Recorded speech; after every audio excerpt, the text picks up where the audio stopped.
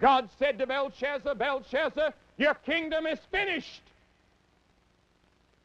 Many remembered. God remembers. Remember that God remembers two things. God doesn't forget anything except one thing. God has all of your sins listed, but God remembers something else.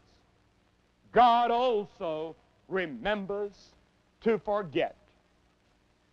When your sins are under the blood of Jesus Christ and your sins have come to the cross, God says, I will forget them.